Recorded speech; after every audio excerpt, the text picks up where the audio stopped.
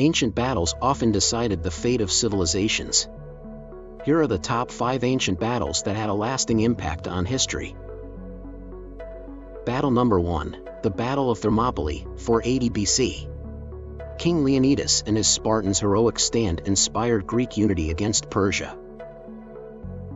Battle number 2, the Battle of Gaugamela, 331 BC.